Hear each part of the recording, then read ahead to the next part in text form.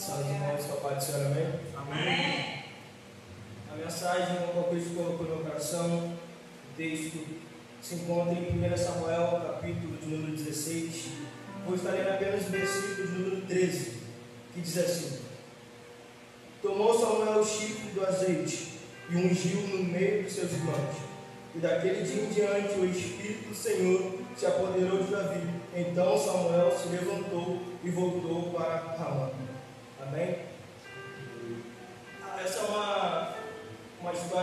Interessante que fala sobre um jovem, um jovem com o nome de Davi, que Cristo o separou para fazer uma linda obra para governar um reino. Mas para nós entendermos muito melhor o porquê de Davi ser ungido como rei, nós temos que ir em 1 Samuel capítulo de número 15, que fala a respeito de Deus enviando Samuel para ir e ungir, para ir, perdão, para ir falar com Saul, para ir então de contra Saul e dizer, Saul, vai até os Amalequitas, os Amaleque, destrói toda a cidade, porque a cidade é uma cidade pecaminosa, um povo pecaminoso. Então, Saul então levanta os homens e vai até Amaleque. Chegando a Amaleque, Saul então depara com o rei e olha para o rei e vê que o povo o perdoa o rei. Quando o povo perdoa o rei, Davi, Saul então olha assim e diz, então eu vou levar ele comigo. E pega o rei, o rei Argarco, e leva consigo. Também Saul olha e vê uns animais bonitos. E observando os animais, ele vê que o animal está tão bom assim. E vê que o povo também tinha um perdoado. E quando vê que o povo perdoou, Saul também pega então os animais e leva consigo. E o resto, tudo ele destrói a espada. Então, Deus então torna a falar com Samuel. Mas agora com a palavra de repreensão. Porque o rei Saul tinha desrespeitado a palavra de Cristo. Então Samuel então recebeu a palavra dos céus. Pai Deus encontra Saul para falar com Saul.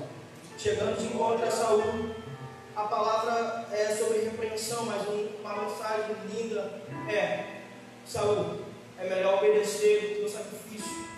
E a obediência para Cristo é uma coisa muito interessante, muito importante. Porque a obediência é nós rejeitarmos nossas vontades e viver a vontade de Cristo. E a desobediência para Deus é como se fosse uma rebelião. E a rebelião para Deus é comparada com porfia. E Saúl, de uma maneira descontrolada, desrespeitou a Cristo, uma palavra divina. Então Samuel dá essa palavra de repreensão.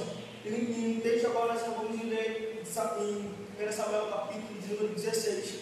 É Deus enviando Samuel até a casa de Jessé, versículos primeiros. E Samuel olha assim e fala, Senhor, se eu for até a casa de Jessé, o Benemita, o rei Saul sabendo, ele vai querer me matar. Então Deus dá uma estratégia, dizendo, olha, pega um bezerro e leva. E fala que você vai sacrificar. Quando Samuel pega, ele leva, chegando lá, ele convida os filhos de Jessé para o sacrifício. E quando chega, ele sacrifica, depois Jessé recebe Samuel em sua casa, com muita alegria, porque ele era um profeta, um homem de Deus. E Samuel, permitindo conjectura, chega para Jessé e fala, olha, Deus me enviou aqui porque aqui Deus tem achado, Deus achou um jovem, temente a ele, e que ele irá ungir como rei de Israel. Jessé então olha e fala: É um dos meus filhos, então eu vou trazer para você os melhores, de alta estatura, bonito, forte.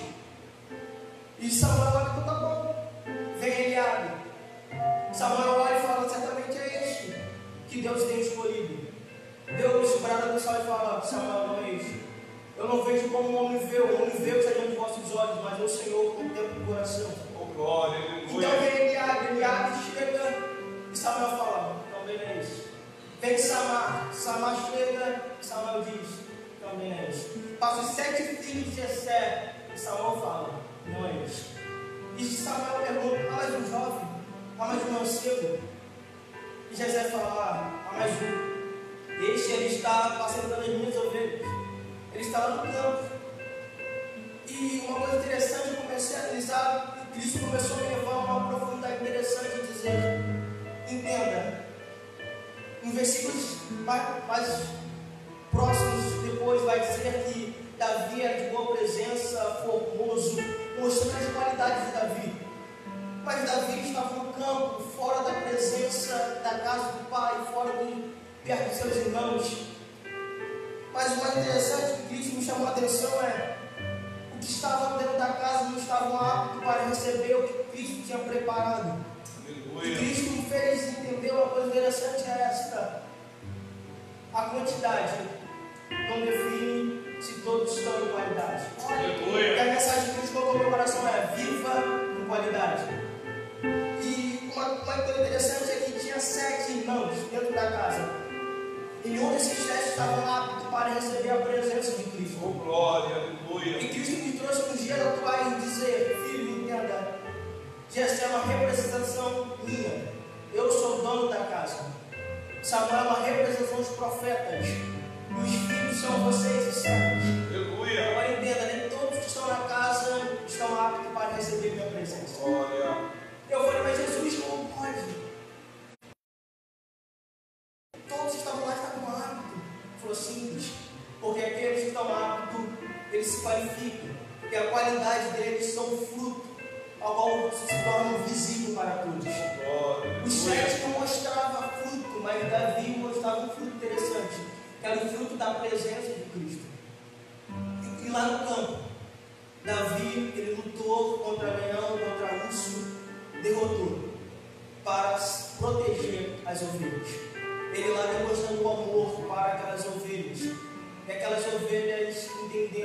Interessante Davi, apacentando das ovelhas, ele estava representando o bom pastor. Que uma ovelhinha poderia ser saída do caminho, mas ele ia lá e chamava de volta. Glória. Porque Davi estava sendo instruído sem ele mesmo saber. E Cristo me trouxe a isso entender. Que é melhor viver em qualidade do que em quantidade. Porque qualidade mostra aquilo que Cristo quer. E quantidade mostra aquilo Natan, prove na Bíblia homens que viveram de qualidade e viveram uma coisa que ninguém viveu. Davi, logo após ser ungido, ele derrotou um homem muito grande, um gigante. Não foi nas forças dele, mas nas forças do Espírito Santo que estava nele. Ele experimentou algo que ninguém experimentou, ele viveu uma experiência que ninguém viveu. Mostre outro na Bíblia que derrotou um gigante. Não tem. É Cristo dizendo: quem vive em mim, qualidade, vive em quem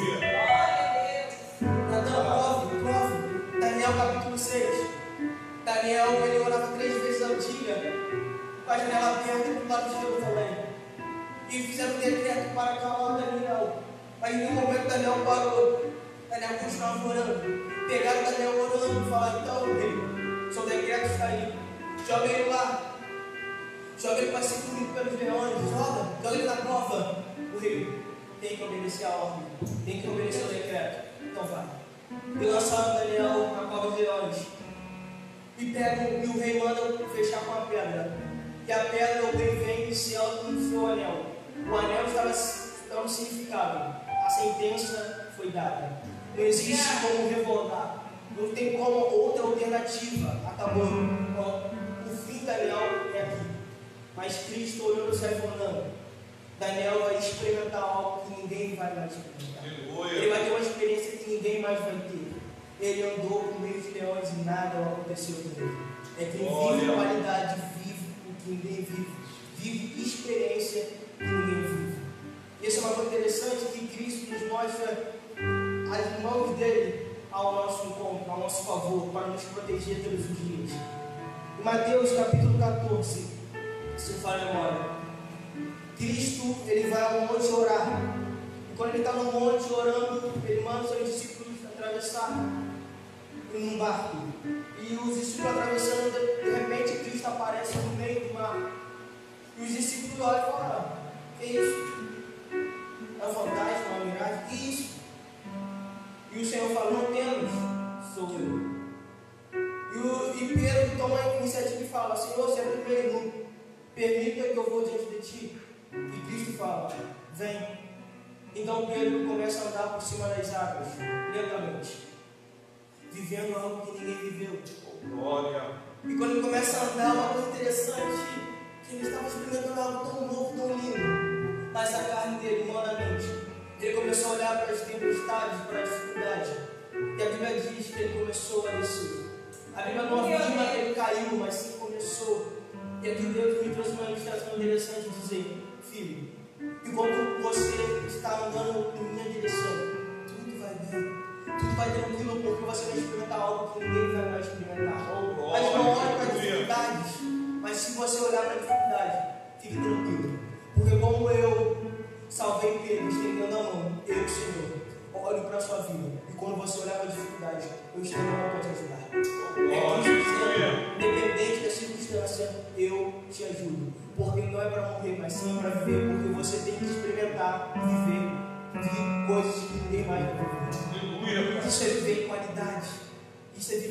ninguém viveu. Isso é fazer uma obra linda. Qualidade, fruto. Em Gálatas capítulo 5, versículo 22, vem falar sobre o fruto, o fruto do Espírito. O amor, a paz, a longanimidade, a benignidade, a mansidão, a temperança, paz, amor, alegria. Esse é um fruto. Alguém vive em Cristo sempre está à mostra. E Cristo, como veio à terra, nos mostrou esses frutos. O amor para conosco, mostrou a bondade, a paz, a alegria, a alegria da salvação dele. E João, João, um discípulo amado de Cristo, ao qual deitou em seu peito, ele teve uma experiência com Cristo muito linda. Ele viveu uma experiência que ninguém viveu. João foi totalmente massacrado, apanhado, castigado, por amor à obra de Cristo, por amor à palavra de Deus. Mas no momento ele negou, ele desistiu. Mas sim, ele ficou lá perseverando. É verdade. E quando ele foi jogar na ilha de Patmos, para calar a voz, para calar João, aí Deus faz ele viver algo que ninguém mais vai viver. Deus leva ele Espírito ao Santo Glória e mostra a João coisas tão lindas, maravilhosas, que se escondem em Apocalipse. O livro revelativo muito lindo, que fala da gloriosa cidade, a nova Jerusalém, a cidade daqueles que estão perseverando na terra, lutando para herdar o céu de glória. A mensagem que Deus colocou no meu coração é uma mensagem muito interessante, a mensagem da qualidade. Que nós devemos cada vez mais estar priorizando a qualidade do que a quantidade. Nós estamos aqui hoje fazendo essa live, vocês aí do outro lado aí, ouvindo, se preocupe com a quantidade, mas com a qualidade. Oh, glória. A presença de Deus é real neste lugar. Aleluia. Não, nós, a gente não está aqui em grande número, não. Nós estamos em poucos números. Mas se um dia tiver dois ou três reunindo meu nome, eu farei presente. É Deus mostrando quem está em qualidade, vive o que ninguém vive, está sempre comigo. Quero que você entenda. Eu não sei a circunstância que você está se deparando no momento, mas Cristo me trouxe aqui as para dizer: Ei, viva em qualidade dele. Porque eu vou fazer você viver coisas que ninguém vai viver. Oh, Natan, mas a situação da minha casa está toda desorganizada. A, a minha família não está bem estruturada. É, um vento para um lado, um vento para o outro, tempestade, tudo parece que vai cair na minha cabeça. Mas tu falou, não, é você. Porque de você eu vou fazer você viver coisas que ninguém vê. E de você eu vou fazer você impactar a tua família. A mensagem é esta: vive em qualidade. Oh, aleluia. É que muitos hoje em dia está deixando de lado a qualidade de Deus. Muitos hoje em dia estão priorizando tantas coisas. Muitos hoje em dia preferem ter uma igreja cheia do que ter pessoas cheias do Espírito Santo. Aleluia. Muitas coisas que vêm que nós possamos ver nos dias de hoje é pessoas se preocupando tanto em manter inúmeras pessoas. Desde certo manter pequenas, mas em qualidade. Cristo nos mostra isso em 1 Coríntios capítulo 15. Quando Jesus ele, é ressuscita, ele ressuscita, ele fica 40 dias na terra ainda, ele fala, olha, vai para Jerusalém, até que do alto seja revestido de poder. Atos 2, os discípulos obedecem e vão para Jerusalém. Em 1 Coríntios, são aproximadamente mais de 500 judeus que estavam em Jerusalém, que ouviram esta palavra. Mas Aleluia. Atos 2 vai dizer que só 120 estavam no templo, orando a Deus, esperando a promessa do mundo. É Deus dizendo: olha quanto número tinha de pessoas ouvindo, mas olha qual quantas pessoas que realmente É, foram no templo. Se nós pararmos para analisar, de 500 aí para 120 é um número muito pequeno. A maioria ficou de fora ali, a minoria entrou. É isso. A qualidade faz viver coisas que ninguém vai viver. E você que vive em qualidade, você produz fruto.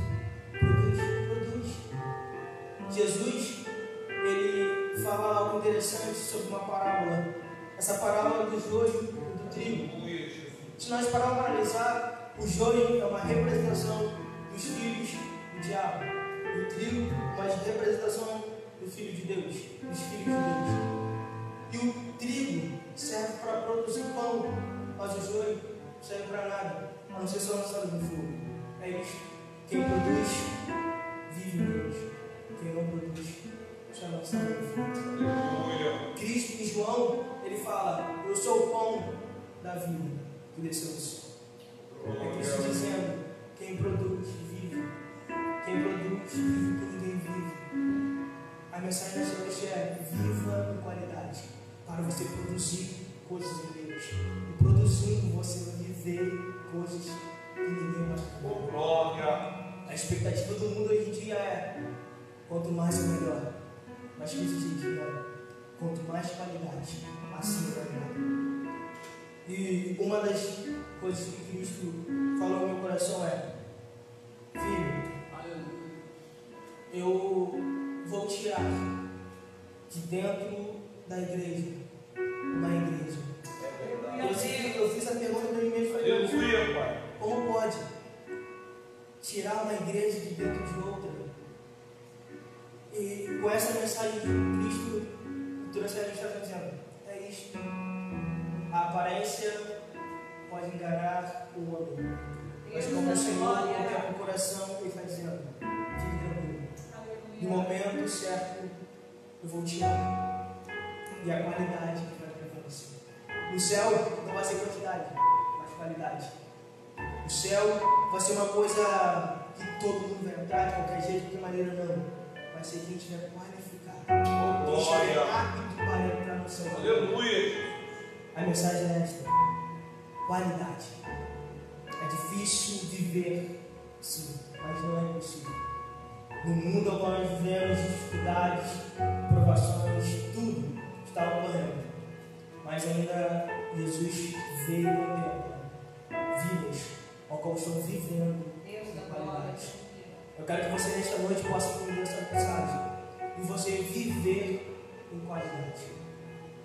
Independente da circunstância que você vive, que você está passando, mas não deixe de viver em Deus. Porque a partir do momento que você para de viver em Deus, você, você passa a ser normal. Você passa a viver a normalidade de mundo. Eu quero dizer para você, que está desse outro lado, está ouvindo essa simples mensagem, para você entender uma coisa. Se você até pensa e analisa e vê verdadeiramente, eu não estou vivendo uma vida de qualidade, não estou vivendo uma vida certa em Deus. Passa a viver. Porque Cristo, Ele volta todos os minutos e segundos para tantas vidas. Como hoje eu estou aqui, você está desse outro lado. E como hoje eu posso, Jesus pode me levar, como pode levar também. Então, nós temos que estar preparados. Glória a Deus. Aleluia. Qualidade em Cristo. Essa é uma mensagem. E eu peço para orar ao mim e viva com qualidade. Eu sou grato a Deus por esta oportunidade. E agradeço também ao pastor por ter me a oportunidade. Graças a Deus. Amém. Amém.